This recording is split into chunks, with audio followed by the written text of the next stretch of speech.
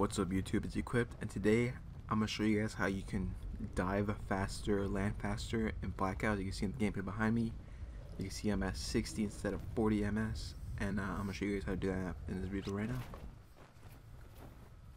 Alright, so how you do this is, uh, once you jump out of the helicopter, as soon as you jump out, you want to go straight down, and then once like you're not touching the ground, but you, you just got to keep going down, and then you pull yourself up, and then you just go on the same speed. Usually it's 40 ms. Now, if you do this, you're around 60, so it's way faster.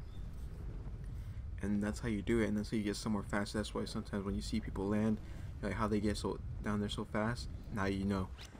And um, I'm gonna show you guys two side by sides of um, one. The right side is not doing it. The left side is doing it. So the left side you see me going down, on the right side just me gliding normally without me knowing how to do it.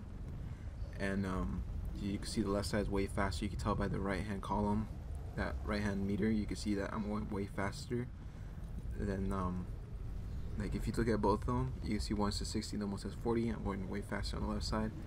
So that's how you guys do this and uh, I hope this helped you out.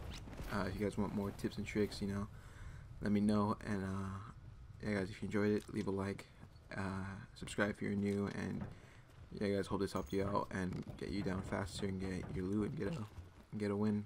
So yeah guys thank you so much and i'll see you guys in the next video